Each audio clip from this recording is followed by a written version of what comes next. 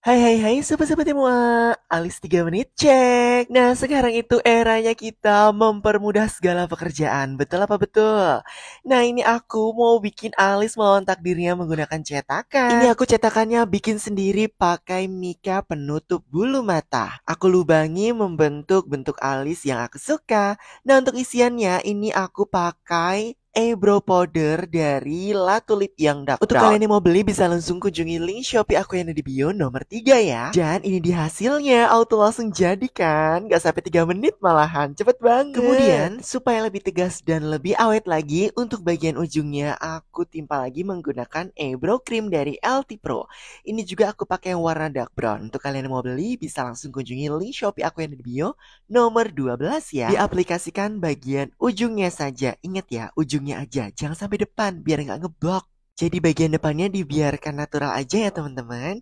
Nah kemudian untuk concealernya ini aku masih setia menggunakan LT Pro Smooth Corrector yang yellow orange. Untuk kalian yang mau beli bisa langsung kunjungi link Shopee aku yang ada di bio nomor satu ya.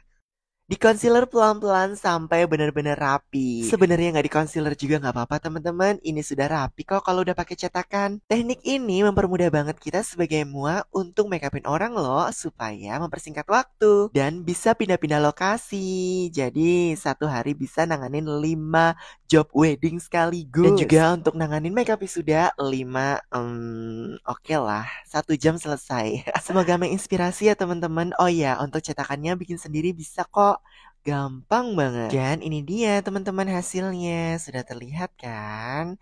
Nah, kemudian untuk bagian concealernya jangan lupa di blend ya supaya tidak terlalu tebal. Ini bisa di blend menggunakan kuas, pons, ataupun jari. Bebas aja, yang penting rapi. Dan lihat. Semoga membantu ya teman-teman tips dari aku. Ingat makeup tuh mudah kok kalau kita buat mudah. Dan makeup tuh susah kalau kita buat ribet. Bye-bye.